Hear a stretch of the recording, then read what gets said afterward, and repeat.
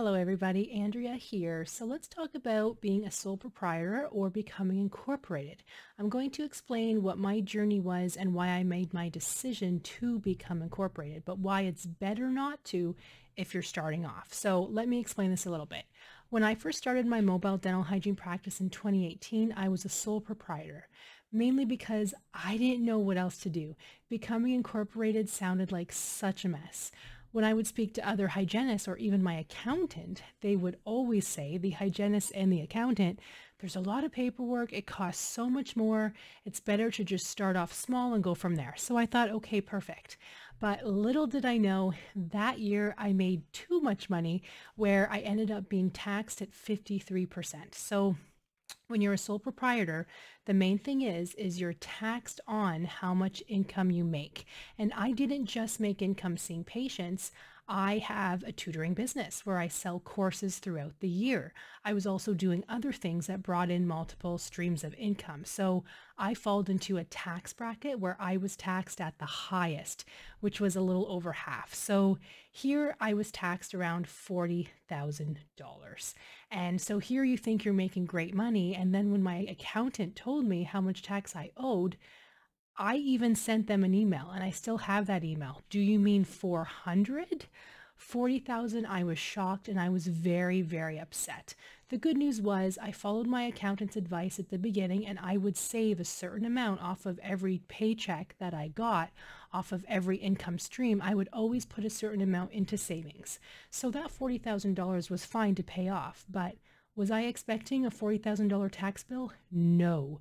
So I became incorporated right away. I basically said I want to be incorporated as of yesterday so this doesn't happen again. The good news is I did become incorporated as soon as possible with all the paperwork, talking to my accountant. You do need a corporation lawyer. Those appointments, okay, it took a couple weeks. I did have to sign a little bit more paperwork, but all in all, worth every penny. The big difference is I used to pay my accountant, let's say $500 to get everything ready. Now I'm paying upwards to $4,000. But that was also my first year of being incorporated. I think the fees were a little bit different, whereas now it's very easy to just maintain. Where when I was first signing up to become incorporated, my accountant had to file this paperwork, talk to this person, change this, look up this, look up that. So I'm hoping it's going to be less of a accounting fee this year, but that's all a business expense anyway. So I highly recommend becoming incorporated, but it depends on how much money you're making. Talk to your accountant. I now get taxed at 12%.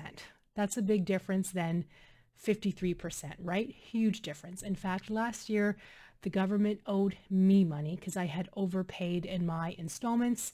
I pay every four months in my business tax installment, so I'm not hit by a big bill at the end of the year, but I had actually overpaid apparently, so I got money back. So that's why I became incorporated, but it might not be best for you. Definitely talk to your accountant. The main thing to ask them is, with my income, the rate at where it's going, how much am I going to be taxed? What tax bracket am I in? If it's a 53% being taxed, I would become, incorpor be become incorporated now. If it's anything over like 12%, I would do it, honestly. But take my advice with a grain of salt, please. I'm not an accountant. I don't know you. I don't know your business. So there might be different situations where you don't want to become incorporated. But that's just my personal story from a regular person who was just a mobile dental hygienist. This is not me making hundreds of thousands of dollars per year because I own my own practice and hire many people. I was just a mobile dental hygienist. Very, very simple. Just me, no employees.